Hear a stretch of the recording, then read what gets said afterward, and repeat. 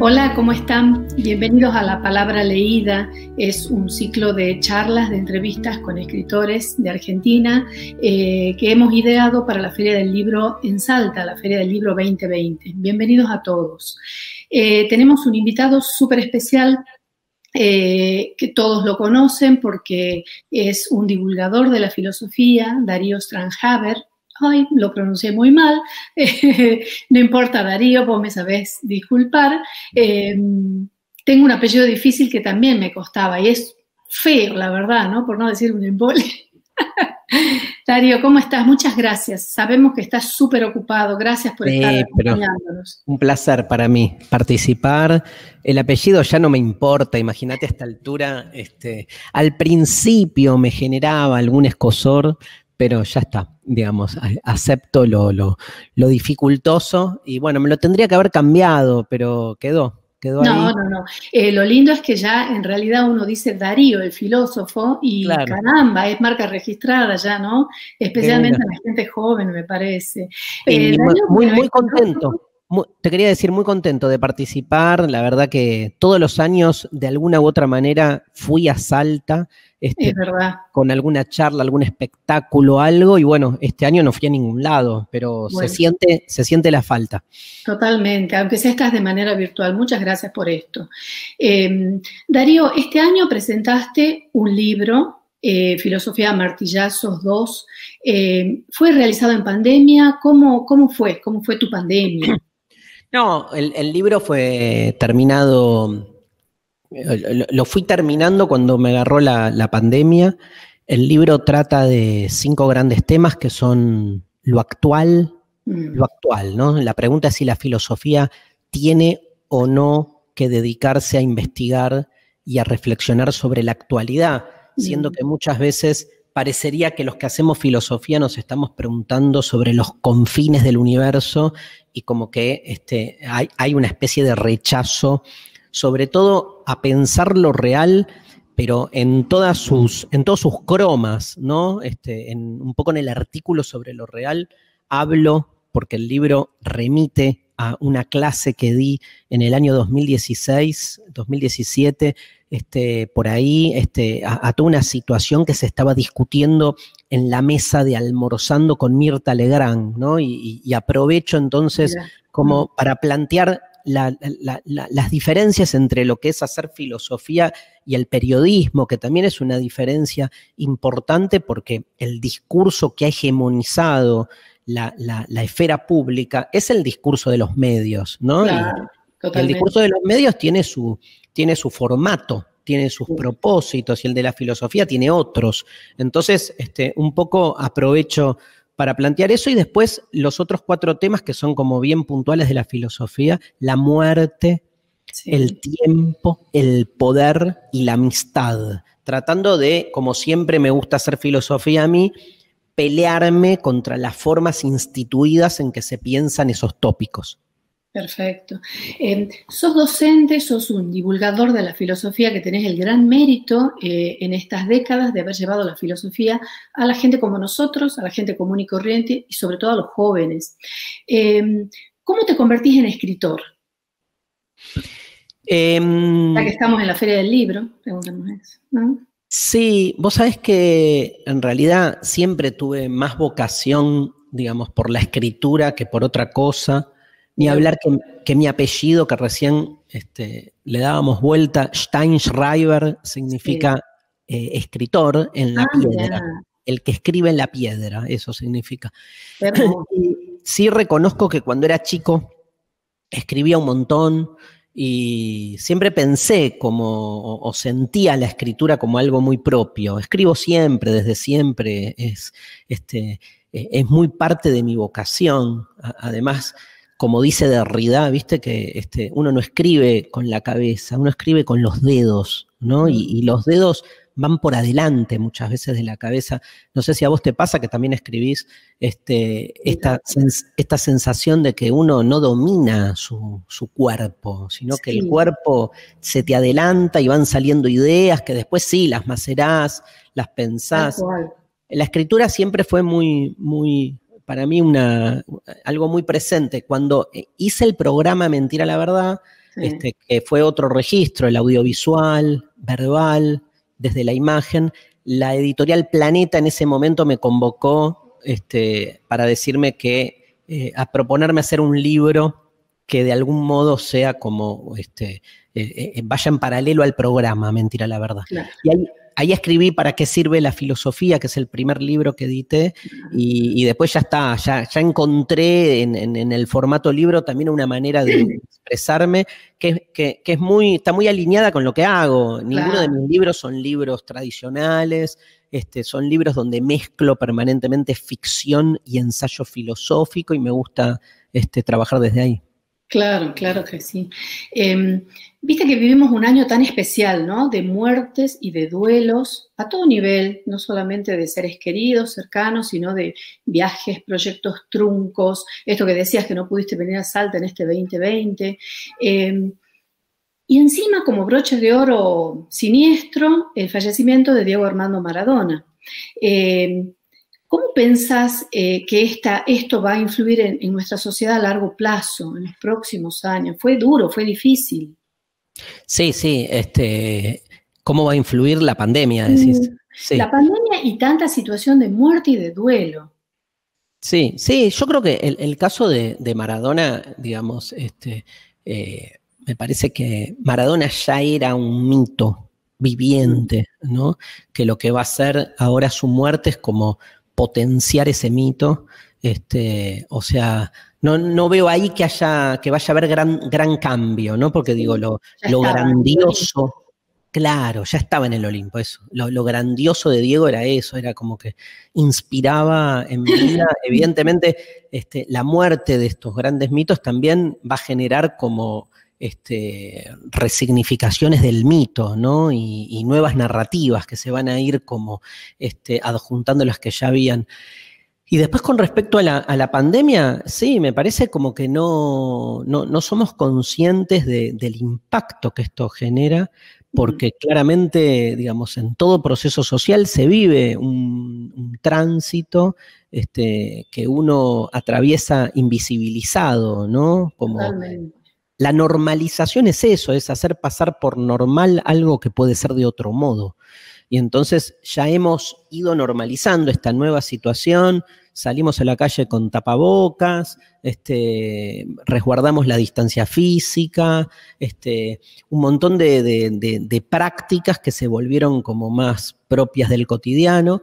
A mí lo que me preocupa más que la, práctica puntual son las consecuencias más simbólicas que pueden permear lugares realmente este, fundamentales para el lazo social. Por ejemplo, cómo después de la pandemia el otro se nos volvió este, alguien este, amenazante, peligroso, digamos, eh, me preocupa mucho eso, ¿viste? Me preocupan las metáforas que subsisten, como que la pandemia va a terminar en algún momento, pero hay, hay formas del confinamiento que van a quedar y esta relación con el otro más, este, eh, más negadora del otro también. Este, el, distanciamiento físico confundiéndolo con distanciamiento social, porque en realidad lo que se necesita es distancia entre los cuerpos. Sin embargo, muy rápidamente se tradujo esto como distanciamiento social, que no tiene nada que ver una cosa con otra, porque no necesitamos menos sociedad, necesitamos más comunidad frente al distanciamiento físico, pero sin embargo pega fuerte, ¿viste? La metáfora. Eso, me, creo que... A mí me, este preocupa con respecto a los chicos, pienso en los que tuvieron que hacer todos estos procesos, estos rituales de quinto año, sin quinto año, los que entran a una escuela primaria o una secundaria y que de pronto no saben lo que es en realidad, porque han estado aislados. Yo, creo que para buscar una buena dentro de todo, si podemos llamarla así, el hecho de que es un acontecimiento extraordinario que impactó en la sociedad en su conjunto es positivo, ¿viste? O sea, eh, peor es cuando esto le pasa a alguna población, a una minoría, a una persona. Es como que, bueno, nos tocó a todos y nos llevó puesto a todos. Hay algo, sí, por ahí es fuerte, igualdad, pero sí como que digamos, este, no es una, una situación que, este, parcial, ¿no? Entonces, eh, es, es realmente tremendo para los chicos, la experiencia, pero bueno, por lo menos es una experiencia que se puede trabajar con los chicos en conjunto. Calculo el año que viene, cuando recomiencen las clases, ya se supone en términos presenciales, va a ser fuerte trabajar esto. Los docentes tenemos ahí una tarea, este, una más, ¿no? Una después, más de todas. después se nos dice que no hacemos nada y todas esas cosas, pero una tarea más que es poder La resocialización de los chicos, de pronto. Total, total. Sí. sí. ¿Qué pensás de este tema de la cultura de la cancelación? ¿Viste esto que pasó, eh, volviendo al tema Maradona, aunque no querría tocarlo tanto, pero es el ejemplo más cercano de un grupo de feministas que estaban enojadas y no querían, eh, no querían ningún homenaje, eh, que ya pasó y pasa hace años en nuestro país en realidad, ¿no? Con Borges, sin ir más lejos para ir a la literatura. Mucha gente este, no lo ha leído lo suficiente o se ha negado a leerlo durante mucho tiempo por su ideología. ¿Qué pensás de eso? A ver, separaría cosas. Cada sí. uno tiene el derecho de leer y consumir lo que quiera. Sería como el, el primer, este, lo primero que te diría. Segundo, después, este, una Gracias. cosa es que uno decida para sí es una cosa y que uno después quiere imponer esa decisión individual en el resto de la sociedad, ahí ya se vuelve un problema, ¿no? Porque claro. si alguien no quiere leer a Borges, que no lo lea. Ahora, si claro. esa persona me niega a mí mi derecho a leer lo que yo quiero, ahí ya el problema es otro. Eh, yo creo que básicamente, dándole un poco de la vuelta al asunto, me parece, a mí me interesa mucho ver más que lo que alguien dijo en un pasado, mm. lo que alguien hace con eso en el presente. O sea, digamos, mm. si alguien en el pasado este, eh, hizo algo siempre hablando de dentro de los límites de la ley, ¿no? De lo legal. Si alguien mató a alguien, digo, ya estamos ahí pasándonos, ¿no? Pero dentro de los límites, y hablo también porque es un lugar fronterizo de lo que mm. se puede cuestionar como límites de la ley. Digo, este, eh, no sé, encontrar tweets este, de alguien del pasado eh, xenófobos, discriminadores, este, me resulta un horror. Ahora, me resulta más interesante ver qué dice esa persona hoy, qué hace con eso. Entonces, 8, 10 años después, ¿qué hiciste con eso? Decís, claro. bueno, bueno, fue una pelotudez, no sé qué, o te haces cargo, ¿no? Me interesa ver, porque ahí, ahí, yo haría la diferencia, no tanto en lo que dijo antes, este, y sin minimizarlo, ¿eh? sino claro. entendiendo qué proceso catártico, qué proceso pedagógico, que termina siendo eh, ejemplar también, digo, escuchar a alguien que, que, se arrepienta y entienda dónde estuvo la cagada y qué hace con eso, me parece que termina siendo mucho más eh, eh, interesante para lo que se, después se pueda como desplegar y ampliar en la sociedad toda que negarlo, ¿no? Claro, claro. Eh, pondría bueno, más el foco ahí.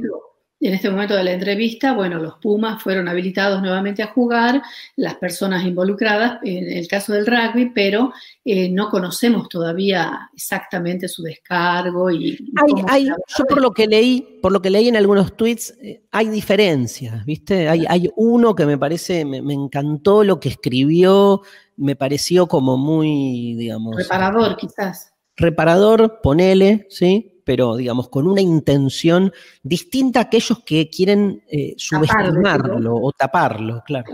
claro. Claro, claro. Hablamos de la esperanza, ya hablamos de la muerte, del dolor que pasamos, de la esperanza, que por ahí tiene que ver con el amor, ¿no? Veía que estás haciendo un espectáculo ahora próximamente, el 8 de diciembre, eh, filosofía del amor. Sí, la bueno, digamos, la esperanza por un lado, el amor por el otro. Eh, ¿No van juntos? No. ¿Eh? ¿La juntamos? ¿No van juntos? No. no porque eh, evidentemente la esperanza tiene que ver con ser consciente de estar viviendo un presente que no cierra, donde hay algo que de algún modo queda desacoplado y la necesidad de, de, tener una expectativa hacia el futuro de que eso se, se ordene o, o, encaje en lo que uno espera que sea. Eh, de alguna manera, yo diferenciaría aquellas esperanzas, digamos, que se vuelven también obsesiones, ¿viste? Eh, a mí me gusta la esperanza más como espera, más como, como quien... Siempre me acuerdo de esa película viejísima de, Tom Hanks que se llamaba mm, Náufrago. ¿Te acordás ah, que el muchacho iba, estaba solo en una isla y todos los días iba a la mañana a ver qué traía la marea, ¿no? Este, Y esa idea de lo que trae la marea me parece muy, muy, muy reparadora para la búsqueda que uno hace de sí mismo digamos. Otra cosa es que la esperanza tenga como, viste, un direccionamiento previo y que la esperanza, la esperanza entonces esté, esté puesta en un lugar muy concreto, como diciendo, quiero que suceda esto, esto y esto, ¿no? Y me parece que ahí no, no, no, yo me correría de ese tipo de esperanza porque resulta muy condicionante. Me engancho más con ese otro tipo de, esperanza que tiene que ver más con desarmarme yo en esos lugares en los que me siento muy enquistado para dejar realmente que lo que viene me sorprenda. Lo más interesante del futuro es su impredecibilidad, ¿no? Me parece que hay algo ahí eh, que y bueno, y algo de eso se da en el amor, si querés que lo junte, porque también uno puede pensar al amor más proyectando en el otro lo que uno necesita que el otro sea para uno, o desarmarse uno para que el otro con su otredad irrumpa y te lleve puesto, ¿no? Me, cabe más un amor que me desarma que un amor que me potencia en lo que soy, porque si el amor me potencia en lo que soy, no me transforma, ¿viste? Y yo prefiero esos amores más revolucionarios, que, que me saquen de eje, que me, que, me saquen de quicio, ¿no? que me desquicien. Este, me parece mucho más eh, interesante. La palabra esa, desquicio. Me encanta, me encanta porque es como fuera de quicio, viste que desquiciado da algo como ah, así como hiper, pero en realidad fuera de su gozne, ¿no? Algo que, que, que, está como tan claro en su movimiento repetitivo por dónde tiene que ir y sin embargo se va para otro lado y se desencaja ¿no? Y pierde funcionamiento. Esto me parece clave. Claro, qué interesante. Em, vamos a tu infancia un ratitín. Eh, ¿Qué lectura? ¿Fuiste un chico lector? ¿Qué lecturas te marcaron a vos en la infancia?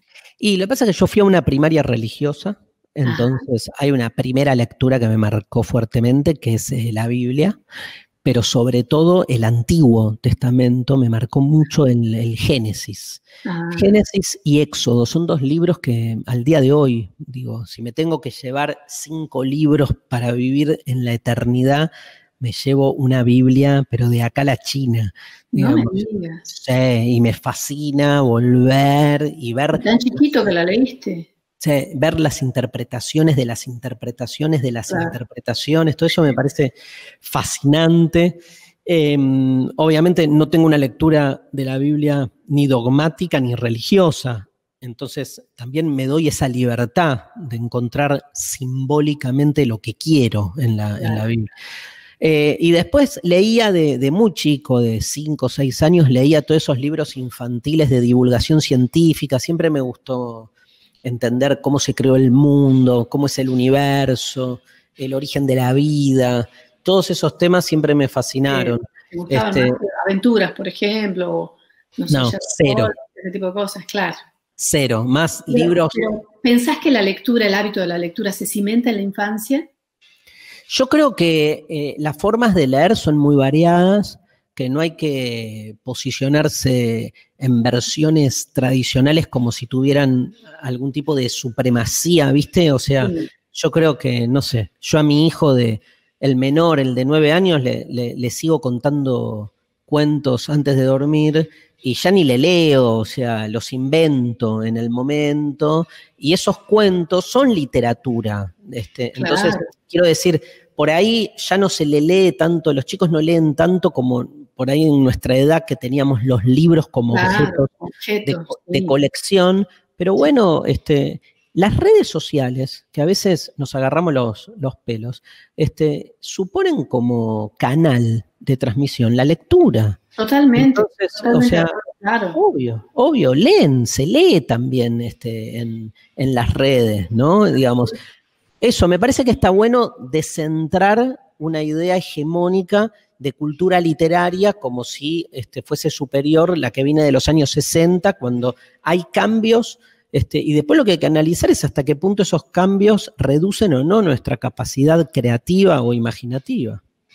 Claro, posiblemente la potencia, ¿no? Posiblemente yo creo que sí, yo creo que sí, pero no es la lectura que más garpa, ¿viste? Digo, eh, todavía tenemos esa cosa medio nostálgica de antes leíamos más, ahora nadie lee nada y están los chicos todo el día mandándose WhatsApp escribiendo, o sea, leen, ¿no? Realmente, leyendo y escribiendo, es así, realmente. Eh, Darío, eh, la última pregunta, ya nos acercamos al final.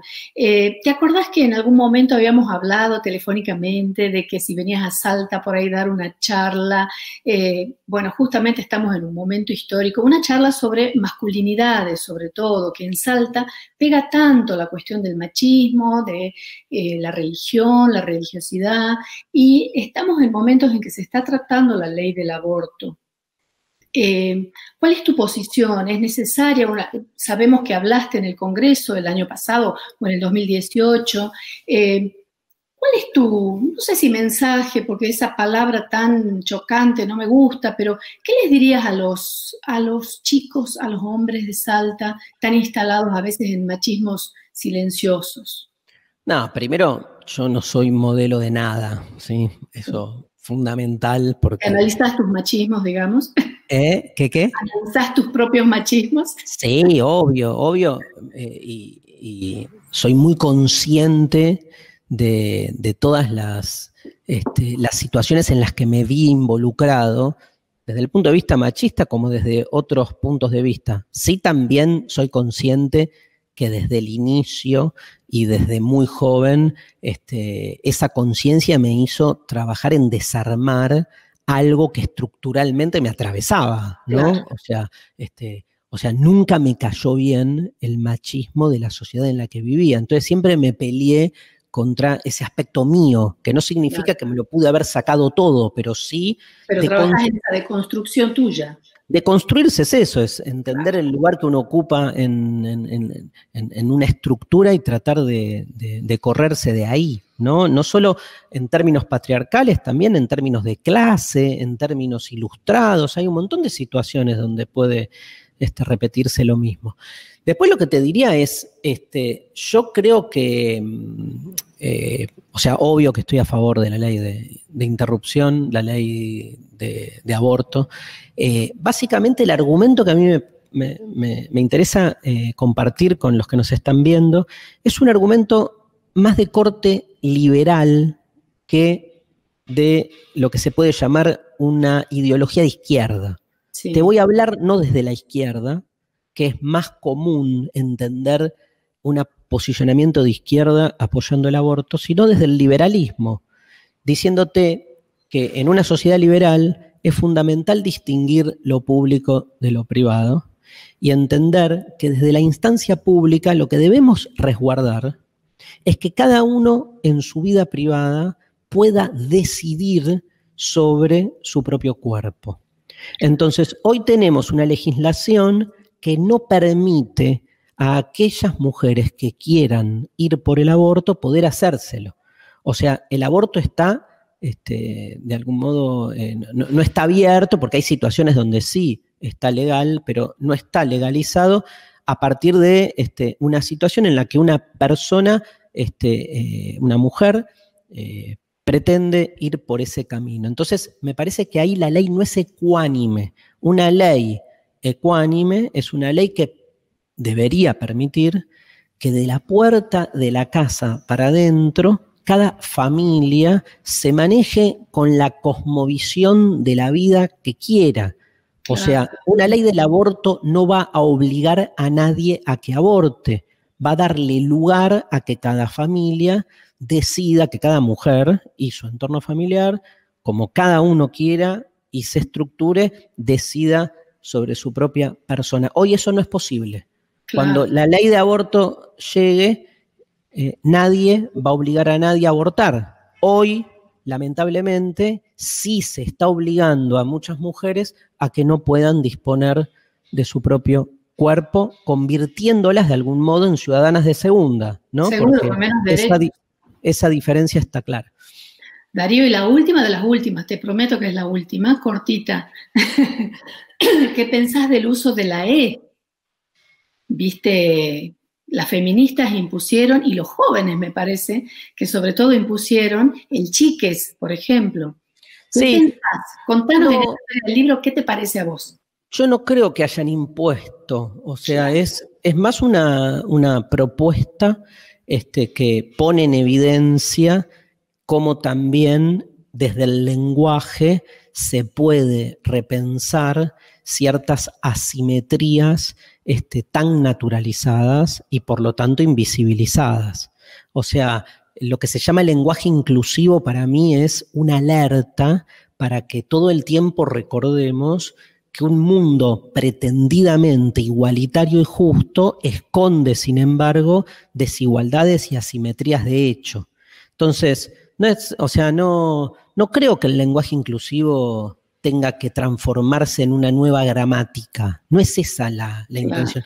La intención del lenguaje inclusivo es más como una alerta, ¿viste? Es como sacar una tarjeta, es como, este, de algún modo, poner en evidencia al revés que toda gramática supone la sustanciación de un orden como si fuese natural, cuando en realidad es un orden que sostiene una sociedad con privilegios para algunos y este, un lugar este, secundario para otros. Me parece que desde ahí este, la, la irrupción, la emergencia del lenguaje inclusivo es como una voz de, de- de- de resistencia, de alerta, ¿no? Y ese, ese lugar me parece que está bueno. Claro, responde algo de la vida.